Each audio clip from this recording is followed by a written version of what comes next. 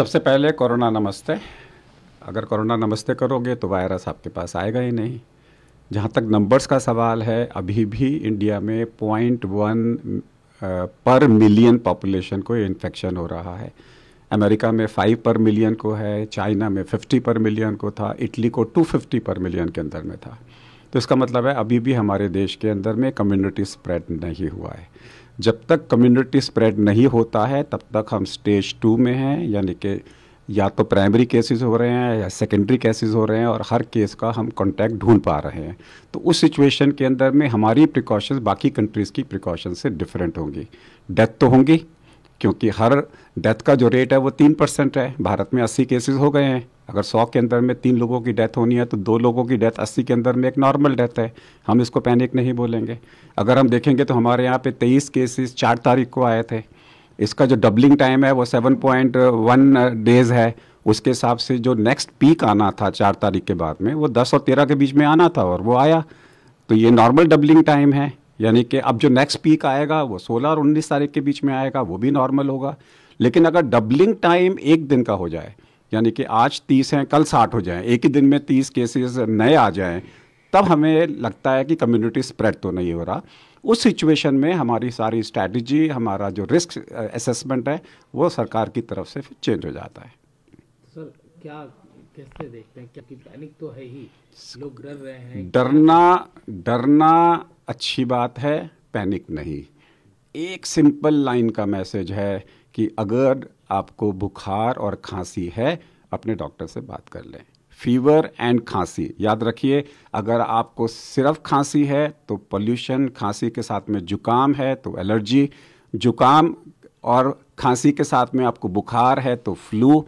अगर आपको गले में खराश है और बुखार है तो बैक्टीरियल इन्फेक्शन, लेकिन अगर आपको खांसी के साथ बुखार है और सांस फूल रहा है तो ये कोरोना के लक्षण हो सकते हैं। इसके अलावा किसी को भी चिंता करने की ज़रूरत नहीं है। जिनको खांसी और बुखार है, अपने डॉक्टर से बात करें और सर्जिकल मास्क को पहन ले ताकि उससे किसी दूसरे को खतरा ना हो। आपका डॉक्टर डिसाइड करेगा कि ऐसा तो नहीं है कि ये फ्लू के अर्ली लक्षण हो, कल तक आपको जुकाम चालू हो जाए। तो इसलिए आज के डेट में आपकी रिस्पॉन्सिबिलिटी यही बनती है या तो सरकार के नंबर पे डायल करें या अपने लोकल डॉक्टर से बात करें कि मैं क्या करूँ। डॉक्टर के पास रश करने की ज़रूरत नहीं है। फिर भी सर सी अभी कम्युनिटी स्प्रेड नहीं हुआ है तो अभी हम मिटिगेशन एक्सरसाइजेस पे नहीं है। अभी हम रिकमेंड नहीं करेंगे कि नॉन एसेंशियल सर्जरीज को बंद कर दो नॉन डॉक्टरों के पास मत जाओ एसेंशियल नहीं है तो मार्केट में मत जाओ एसेंशियल नहीं है तो अभी तो सिर्फ़ एक ही चीज़ है और वो एसेंशियल कमोडिटीज़ एक्ट और साथ में नेशनल डिज़ास्टर एक्ट और साथ में जो है हमारा एपिडेमिक डिसीज़ एक्ट एनेक्ट हो गया है कि कोई भी आदमी अगर खांसी के साथ में अगर उसको बुखार है और वो पब्लिक प्लेस में जाता है और अपने आप को डिस्क्लोज़ नहीं करता तो उसको जेल हो सकती है। तो आज की डेट में तो पब्लिक प्लेसेस में आप जाके सवाल पूछिए, भाई किसी को भी खांसी खांसी के साथ बुखार है तो हाथ खड़ा करें। उसको आप, वो मास्क पहने, नहीं तो वो वहाँ से चला जाए। तो आम जनता के अंदर में अगर हम ये बोलें, आज जो है, बाहर निकलना बंद कर दो, घर में रह दो, अभी वो स्टेज नहीं आई है। वो स्टेज तब आएगी जब कम्युनिटी स्प्रेड हो जाएगा, जबकि सारी एक तरीके से कर्फ्यू हो जाता है। तो आज की डेट में कर्फ्यू वाली स्टेज नहीं है। हाँ जिन लोगों की उम्र 50 साल से ज़्यादा है, जिनको डायबिटीज़ है हार्ट के पेशेंट्स हैं, उन लोगों को डेफिनेटली ध्यान रखना है अपना कि वो पब्लिक के अंदर में ना जाएँ, क्योंकि अगर कोई भी आदमी, अगर उनको कोरोना हो जाए तो मोर्टेलिटी के चांसेस बढ़ जाते हैं। आज मुझे एक सर्जन का फ़ोन आया था कि 60 साल से ऊपर के लोगों की बाईपास सर्जरी जो एसेंशियल नहीं है, करूँ कि नहीं करूँ? उसके साथ में कारण ये है कि उन लोगों को अगर वो कोरोना लेके आ गए, किसी कारणवश से आज की डेट में एसिम्टोमेटिक हैं तो सारे अस्पताल के अंदर में कर देंगे। यस ऐसे लोगों को जो हाई रिस्क केसेस हैं और जिनकी सर्जरी पोस्टपोन करी जा सकती है, आप पोस्टपोन कर सकते हैं। सर जिस तरीके से तमाम चीज़ें सामने आती हैं उसी के पैरलर इसके उपाय भी सामने आने लगते हैं। कोई कुछ कहता है कोई कुछ कहता है। अभी चकवाणी महाराज ने गौ मूत्र की पार्टी का आयोजन करने की बात कही। इसको किस तरीके से इस वक्त में एक पैनिक रिएक्शन है। हर आदमी हर कुछ ट्राई करता है। कोई के पास जाएगा कोई संतों के पास जाएगा कोई झाड़ू फूस करेगा कोई यज्ञ करेगा। तो हर आदमी अपनी ओपिनियन लेकर आता है।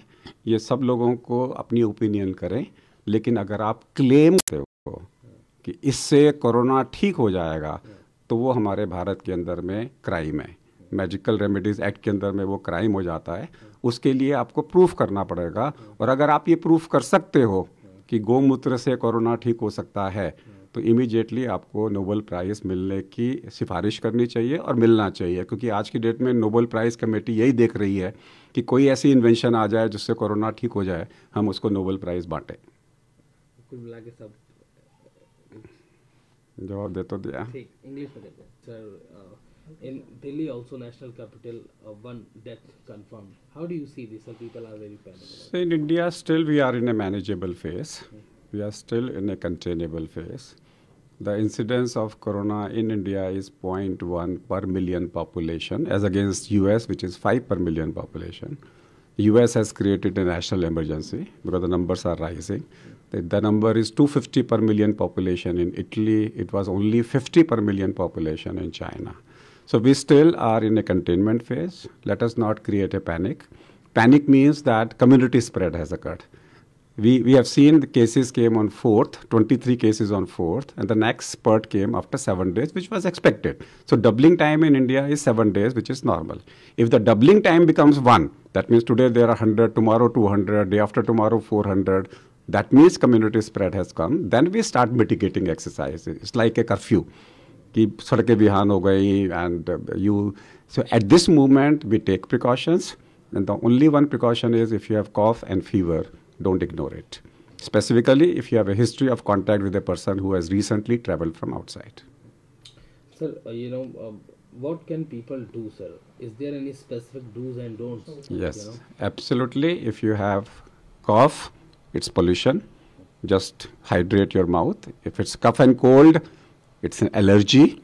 No precautions are required. If it's cough cold and fever it's a stuffy nose it's flu you need to take precautions because flu also will stay for 7 days. If it is sore throat that means if you are having pain in the throat with fever you need antibiotic. It's a bacterial infection. But if you have fever with cough and breathlessness don't ignore it at this particular moment. S- s- because it can rapidly lead to oxygen dependent and you may end up into a ventilator. So don't ignore fever with cough and breathless in today's state. Inform your doctor. Your doctor will decide what to do. Don't rush to your doctor. Make a video call and ask him what should i do. Sir, uh, what do you say about sir death, sir?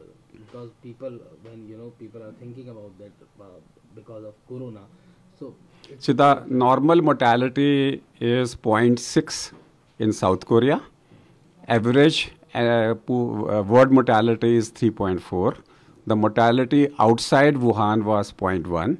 In India, the mortality is 2 out of 80 cases, which is as per international standards. Both the cases have comorbid conditions.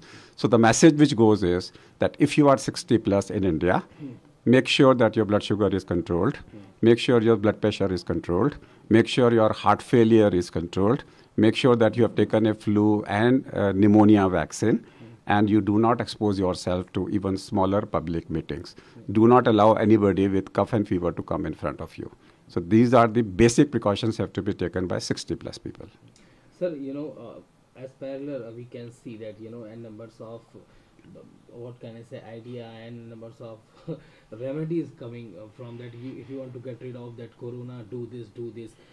One of the our uh, Hindu Mahasabha President Chakpani Maharaj organized a, a Gaumutra party, sir. Is it beneficiary, sir? How do you see this, a Gaumutra? See, let's talk about panic reaction. So we need to create fear but not panic.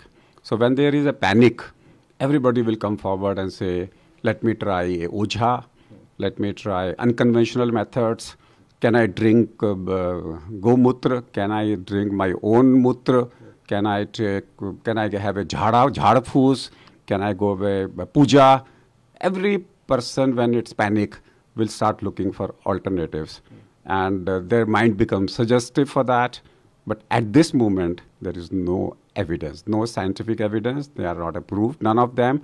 And yes if some of them can claim it and prove it he should immediately be nominated for nobel prize. Because nobel prize committee is looking for cure of corona. So any claim absolutely no. But suggestions individual suggestions yes. People who believe in gomutra let them drink it. But that doesn't mean they can say that everybody should drink it